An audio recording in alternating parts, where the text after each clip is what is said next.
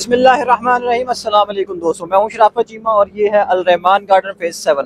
Al Rehman garden phase seven main Sharakpur road پہ یہ society واقع ہے اور یہاں پہ ہم آپ کو دے رہے ہیں ساڑھے تین سال کی انسٹالمنٹ کے اوپر تین مرلہ سے لے کے ایک لال تک کے رہائشی پلاٹ اور بہت ہی مناسب قیمت کے اندر یہ چیزیں آپ کو آفر کی جا رہی ہیں۔ اور اس کی جو بکنگ ہے وہ صرف اور صرف دو لاکھ پچیس ہزار ایڈوانس پیمنٹ دے کے آپ کروا سکتے ہیں، دس ہزار ماہانہ قسط ہے۔ پانچ مرلے کا پلاٹ اگر آپ چاہیں تو تین لاکھ پچیس ہزار ڈاؤن پیمنٹ ہے اور اس کی پندرہ ہزار قسط ہے۔ اور دس مرلے کے پلاٹ کی جو ڈاؤن پیمنٹ ہے وہ پانچ لاکھ پچہتر ہزار ہے اور ایک نال کے جو پلاٹ ہے اس کی ڈاؤن پیمنٹ صرف اور صرف دس لاکھ پچیس ہزار ہے۔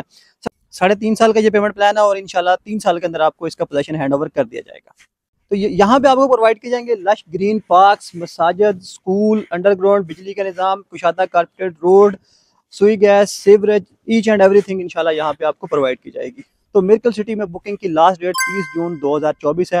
تو اس کا پیمنٹ پلان آپ کی اسکرین پہ اٹیچ ہے، ہمارے نمبر موجود ہیں۔ تو اگر آپ بکنگ کرنا کروانا چاہتے ہیں تو فوری ہمارے گیون نمبر پہ کانٹیکٹ کریں اور تیس جون دو ہزار چوبیس سے پہلے پہلے اپنی بکنگ کو سیکیور کریں۔ بہت شکریہ، اللہ حافظ۔